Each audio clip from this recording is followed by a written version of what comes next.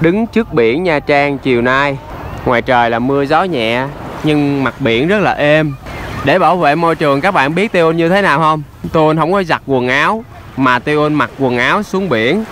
Cho nước biển làm cho nó sạch Xong rồi Tiêu đem lên bờ Tiêu phơi nắng Là nó khô ráo. Nên ờ, Tiêu không có muốn xài xà bông bột giặt gây ô nhiễm môi trường lắm. Oh, người cá Helen, chào bạn. Bạn chưa biến hình người cá nữa. Giới thiệu với mấy bạn người cá Helen à, đang tại biển Nha Trang cùng với Tion nha. Helen mặc đuôi cá vô đi rồi xuống biển chơi luôn hả? Helen. Dạ. Em hãy phát biểu cảm nghĩ của em sau khi nhận được uh, bằng lặn biển quốc tế Badi rất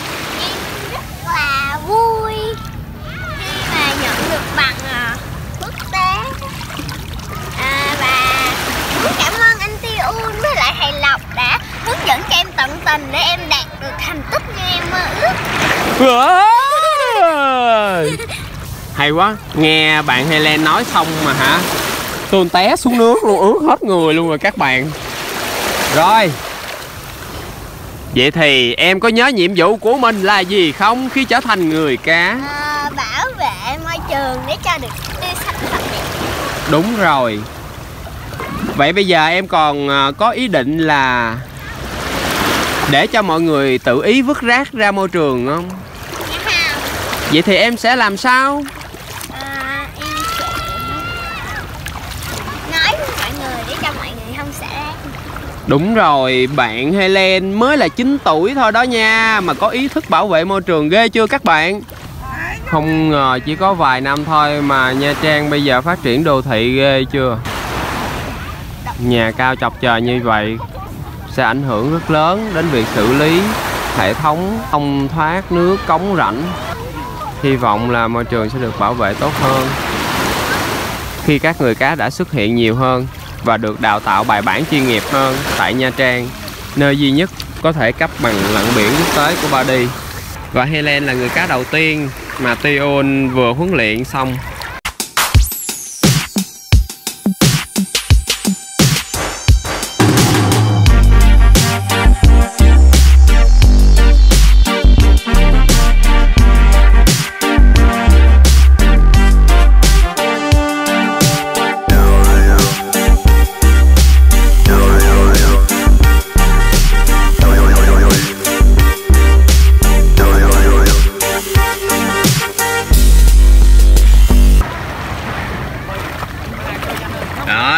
Người cá Helen bơi lại nè, giao lưu nè.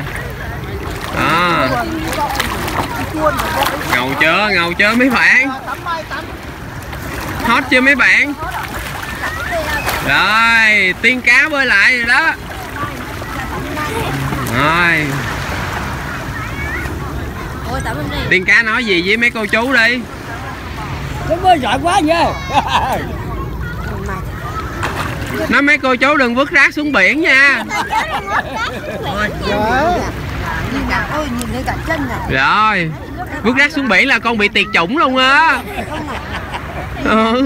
Rồi xong bơi về biển cho mấy cô chú coi Bơi thẳng qua đảo luôn ừ, Bơi thẳng ra phía trước đi thôi Cái này đã cái này đã bơi được Ôi rồi rồi cá quá là giỏi rồi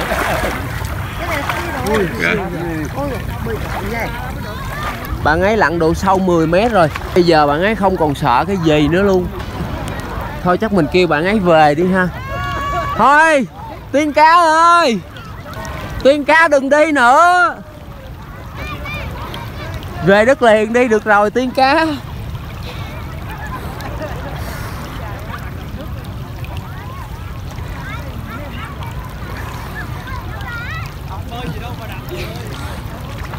Lặn về đi. Nước biển đây sâu ghê luôn ta. Tôi mà rớt điện thoại là hư liền luôn đấy. Bạn nhớ cá bảo vệ môi trường nha. Ngầu chưa?